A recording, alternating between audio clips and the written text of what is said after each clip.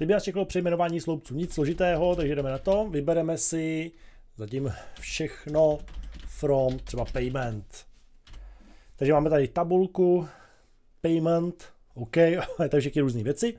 Super. A teď my si z toho budeme chtít vybrat třeba tadyhle Customer ID. To znamená, pojďte si vybrat jenom sloupeček Customer, jde.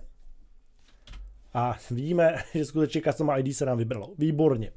A teď vy, my jsme, my jsme si říkali, že když to stáhnete vlastně pomocí této ikonky, takže můžeme to klidně takhle stáhnout, někam uh, uložit.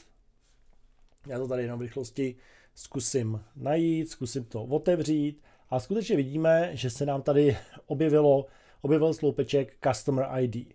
Jenže teď nám jde vlastně o to, že vy třeba nebudete chtít, aby to bylo pojmenované Customer ID, takže to budete chtít eh, přejmenovat.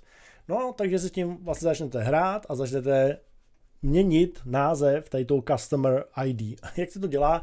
Dělá se to velice jednoduše já udělá to tak, že vlastně vy řeknete, hele, já tam chci sloupeček Customer ID a ten mi označ jako S, S jako, a teď je na vás, co tam napíšete. To znamená, dáme si třeba zákaznické ID, protože se domluvíme na tom, nebo si budeme myslet, že je to srozumitelnější pro ty lidi, kterým potom tu tabulku budeme posílat. Takže dáme play a vidíte zákaznické ID.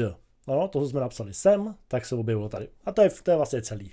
Víte, že nic úplně složitého.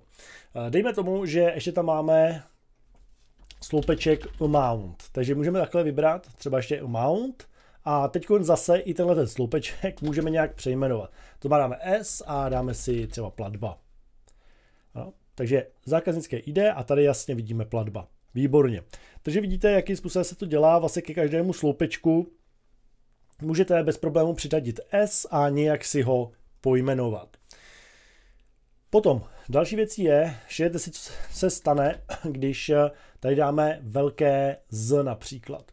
Jo? Vidíte, že tady nám to vlastně pořád dělá zákaznické ID malými. Ano, to znamená, když to opravdu spustíte, tak pořád velký Z tam neobjevuje, proto tyhle ty sloupečky se nazývají z pravidla malým písmenem, protože velkým to nemá smysl. Kdybyste tady udělali mezeru,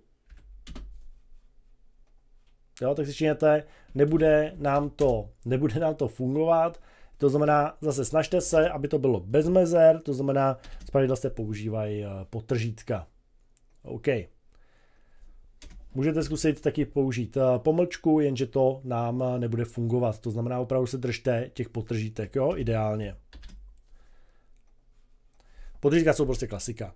Takže tady vidíte, že při jmenování sloupečku není vůbec nic složitého.